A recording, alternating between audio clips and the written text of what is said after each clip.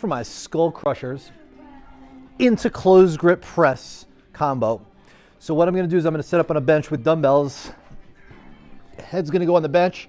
My arms go up here, my shoulders are in my back pockets, my arches out of my back, and I'm gonna keep my upper arm bone vertical as I kick back the dumbbells, right? So they're, see how they're going kind of beside my face and my upper arm bone stays vertical. And then I'm just gonna bring it back up the same plane of movement. So people will cheat by flaring the elbows out or kind of like bringing the elbows down here. You're just gonna hinge back as you do your skull crushers, okay?